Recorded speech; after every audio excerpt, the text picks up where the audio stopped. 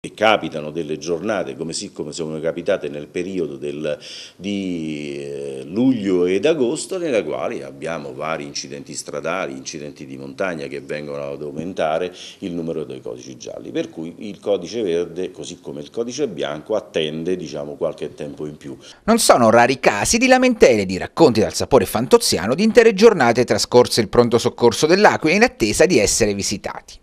Al microfono di TV6 il direttore del pronto soccorso dell'ospedale dell'Aquila in persona, Luigi Valenti, intende però sfatare una non corretta percezione della realtà dei fatti.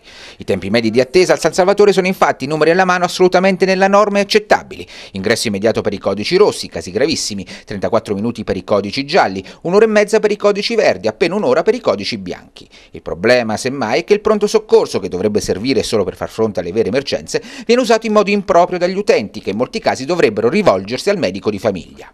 Il pronto soccorso ha un suo scopo ed è quello di dare la precedenza a tutte quelle che sono le patologie gravi, cioè tutti quelli che sono, vengono eh, indicati come codici rossi e codici gialli che hanno la precedenza su tutto.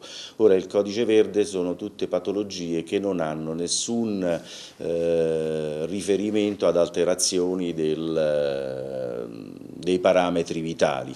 Al pronto soccorso del San Salvatore, spiega poi Valenti, non c'è linea di principio mancanza di personale, bastano i 18 medici e 28 infermieri attualmente in servizio, ma con il taglio dei posti letto negli ospedali il carico del lavoro e delle responsabilità è aumentato.